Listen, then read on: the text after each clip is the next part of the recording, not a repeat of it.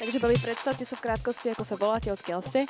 Volám sa Alica Hoffmanová, pochádzam z Banskej Bystrice a študujem na francúzskom bilingválnom gymnáziu. Ja sa volám Julia Lašaková, som z Orávskej Jasenice a študujem eh, tlmočníctvo v Banskej Bystrici.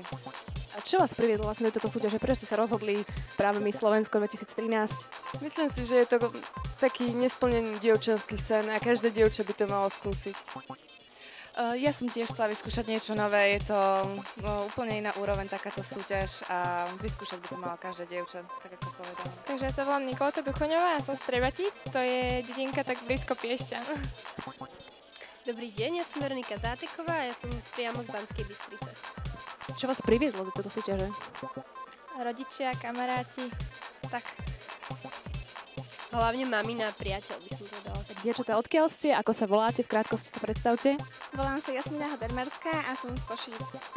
Ja som Luciana Čvírková a som z Trebišova, ale študujem v Bratislave. A čo vás priviedlo do tejto súťaže? Tak určite vyskúšať si niečo nové, nové skúsenosti, zážitky, poznať tieto úžasné baby.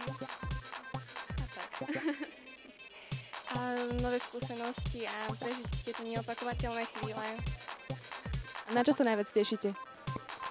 Teším sa na všetko, čo príde, lebo už aj doteraz to bolo veľmi zaujímavé. Sme to len pár dní, ale už sme toho veľa zažili.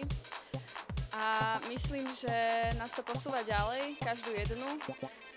A verím, že to takto pôjde aj ďalej a že to bude stále lepšie a lepšie. A veľmi sa teším na finále a na tú úžasnú modnú show.